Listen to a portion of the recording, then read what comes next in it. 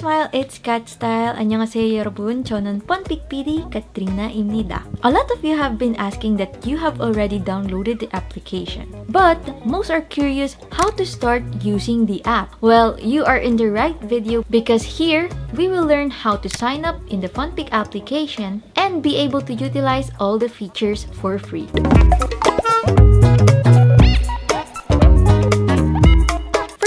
Haven't downloaded the application yet, head over to Google Play Store or Apple Store to download the application. I have inserted it also in the description box below for your convenience. Once you have downloaded the application and started opening the app, there are two ways to sign up for FunPik. First is the manual process guide and second is the simple one-click sign up process. In this video, let's discover each.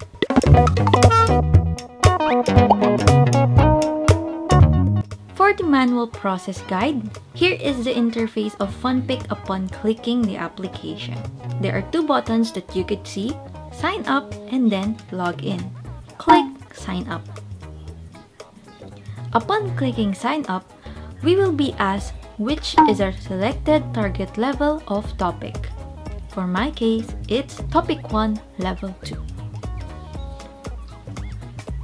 Finally, here is the sign up interface for the manual process guide.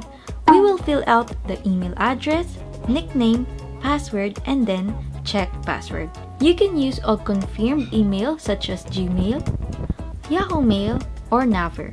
Now that you have inserted your email, a checkmark will be shown. For the nickname, this is similar to a username that you want to be called through the app. You can insert your nickname, your favorite character, a number, or a special character. Let's just use Cat FunPik. For the password, make sure your password has a strong security by incorporating numbers and special characters.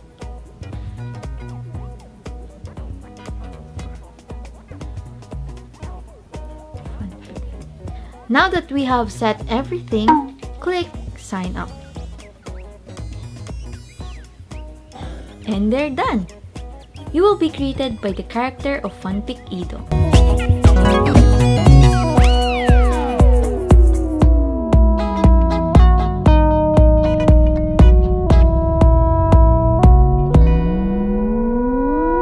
And there's immediately a tutorial reward by Ido upon signing up in the application.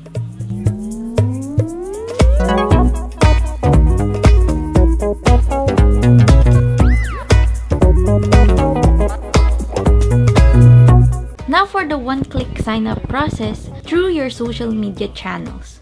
Likewise, we will click sign up in the first part.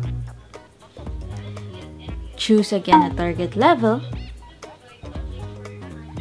And then, in the upper part of the interface of the sign up page, there are three logos that you can see, which is equivalent to Google account or Gmail, Facebook, and then your Apple account. We will try signing up through the Facebook page. Through a one-click process, just click the Facebook logo. You will then be asked that FunPik is requesting access to your Facebook account. Click continue and you're good to go.